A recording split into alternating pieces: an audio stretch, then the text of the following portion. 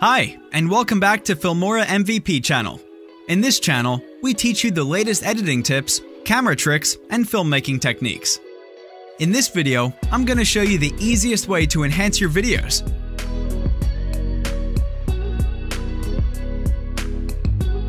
First, stabilize a shaky video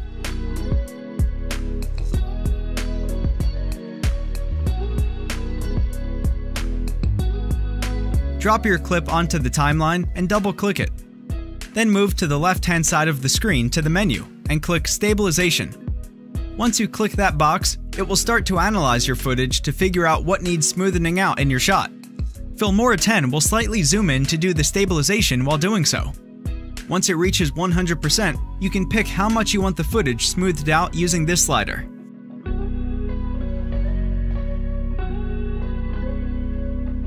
Lens correction to fix any distortions caused by different kinds of lenses. Sometimes, wide-angle lenses on GoPro cameras cause the sides of the frame to get distorted. Just double-click the clip in your timeline and check the lens correction option in the same menu you found stabilization.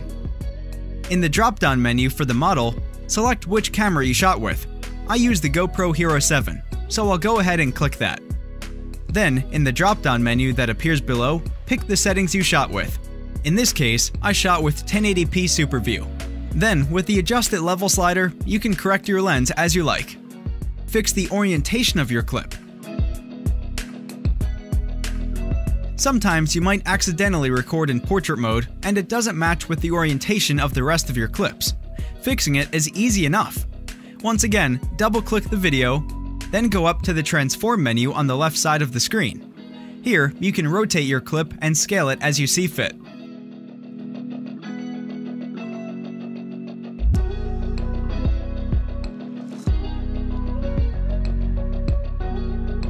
And finally, if there is noise, you definitely want to remove that.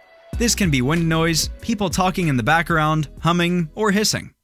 Another new feature is Google Photos Import. All you have to do is double click on your audio clip and navigate to the top of the screen. Under the equalizer, you'll find an option to denoise. You can go between weak, mild, and strong depending on how much background noise you want to remove. Another new feature is Google Photos Import. Another new feature is Google Photos Import. Another way to enhance your video is to use filters, and we have plenty of them on Filmora 10. Just go to the Effects tab in the top navigation bar and click Filters.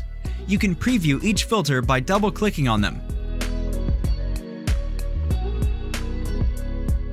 When you see one you like, just drag it from the window down to the clip on your timeline and drop it.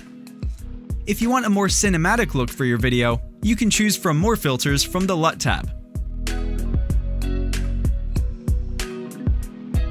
Once you've made those adjustments, play your video back one more time to check for any stability, orientation, or color issues. If everything looks good, you can go ahead and export the footage. To do that, go back to the navigation bar on top and click Export, then click Create Video. In the dialog box that pops up, rename your file and check the location you want to save your file. After you're done, hit the Export button, and you're done. And there you have it, a beautiful, well-edited video with just a few tweaks. If you have any questions about video editing, put it down in the comments below and we'll make a video on it. If you found this video helpful, go ahead and like, share, and subscribe to the Filmora MVP channel for more tutorials, tips, and tricks on making stunning videos for your social media channels. Thanks for watching. See ya!